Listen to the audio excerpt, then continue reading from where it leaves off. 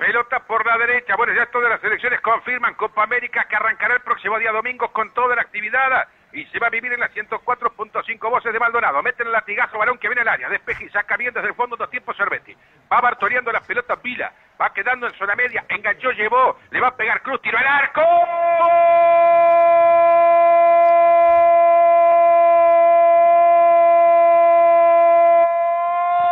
¡Gol! ¡Qué gol! Golazo, pero terrible bombazo de media coloca la pelota en el ángulo superior derecho. Y el golero queda mirando la luna que nada podía hacer que mirar la luna que era lo más cerca que tenía de la mano. De emboquillada Eric de los Santos corta el balón y le pegó fuerte, feo. Al ángulo superior derecho lo mira la Foria y no lo puede creer. Es que esta cancha invita a pegarle porque está bueno el piso y hay que darle. A los 11 minutos de este primer tiempo pone la apertura en el marcador. Gana Racing 1 a 0. Eric de los Santos el gol. Un pedazo de gol, ¿eh? realmente un golazo del número 14. Qué gol de De los Santos, eh, de muy lejos, fuera de contexto con el partido, no habían llegado prácticamente. La colgó del ángulo, nada que hacer para el arquero. Se jugaba poco, se luchaba mucho hasta que apareció De los Santos y ojalá sirva para darle un vuelco al partido. Gana Racing 1 a 0, tenía más la pelota, se había acercado muy poco al arco.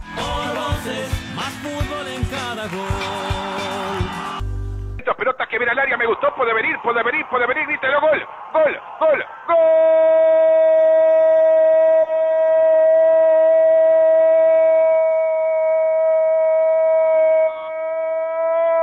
de Rampla Junior, pelota que vino por el derecho y termina conectando, termina conectando en el arco defendido por el golero Lucero Álvarez. En el arco estaba Álvarez, pero estaba Vila para definir. Pone el partido 1 a 1. Pisamos los 32 de juego de este primer tiempo. Y Vila la comenzó él jugando por el costado derecho y después fue a buscar el pase adentro del área.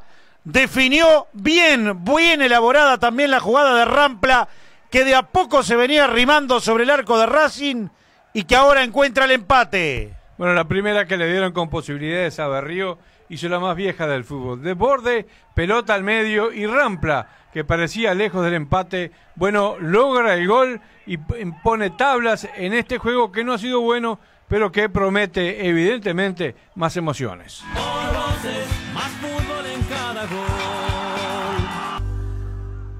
Somos... A Berríos con la pelota, miralo Víctor, engancha a Berrío, dejó el tendal, mirá el colombiano, le pone cumbia, por la derecha bien, enganchó, enganchó Pereira, tiró, gol, gol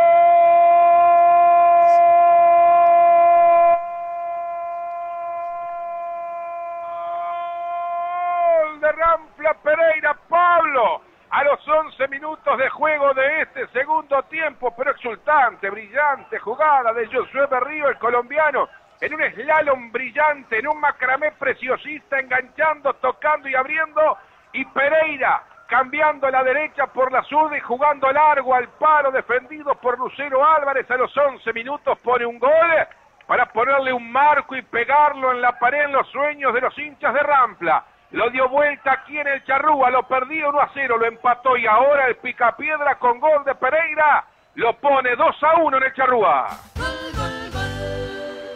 y debe ser uno de los mejores goles del año. Una gran jugada individual del colombiano, realmente. Y después que dejó unos cuantos por el camino, jugó para Pereira, que remató la jugada de forma brillante, porque la enganchó, dejó parado al zaguero para su pierna zurda y después la colocó notable. Una concepción técnica genial la del segundo gol de Rampla. Mire, capaz que no tenemos Copa América. Lo que sí tenemos un gol de esa factura, de ese tamaño, digno de ese campeonato. Realmente un golazo para poner a Rampla de atrás, dos goles a uno.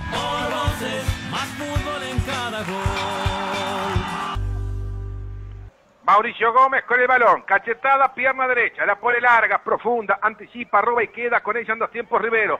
Se la lleva el hombre de Rampla Rodríguez. Rodríguez con el balona. Apóyase para Pablo Pereira. Pica Bravo por la derecha. Se la dana. Ganó Metro Bravo. La pide Rodríguez. Se levanta la cabeza. Engancha. Busca el perfil. Tiene pierna zurda. Encajó diagonal. Rebotó. Cortó y dominó Varela. Entrega mal Varela. Va dominando la pelota. El pica piedra. Se abre por el costado Bravo. Pisa el varón y la lleva. Enganchando inteligentemente en zona central del campo de juego. Ahora el futbolista Díaz. Díaz que toca el fondo para que domine y saque ahora Charles Sorgé. Va recogiendo las pelotas para el equipo de Racing por el costado sur de la cancha. Ahora Rivero. Rivero para Diana. Diana que despeja el balón. La va bajando. Cara interna Luis Gorosito. Gorosito para Barreto. Ojo que le gane la cuerda a Barreto. Peligro. Pisar Puede venir el empate. Enganchó Barreto. Tiró.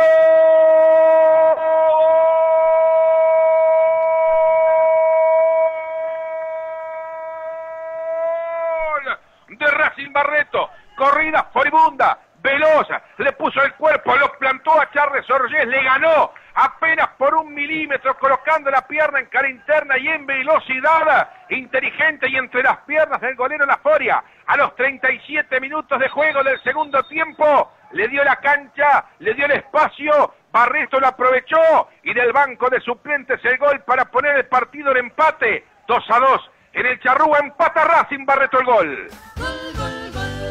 Y cuando no se vislumbraba por ningún lado el gol de Racing, se había ido Rampla de excursión arriba.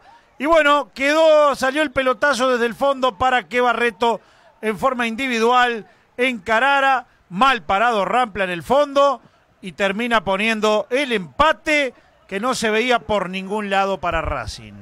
Y bueno, un gol de esos que no se puede tomar, ¿no? Si es un equipo con pretensiones, no le pueden hacer este tipo de gol hizo cambios para defender este 2 a 1 y le terminan con una corrida y un jugador en solitario empatando el partido. Están 2 a 2 y habrá que ver qué pasa de aquí en más. más fútbol en cada.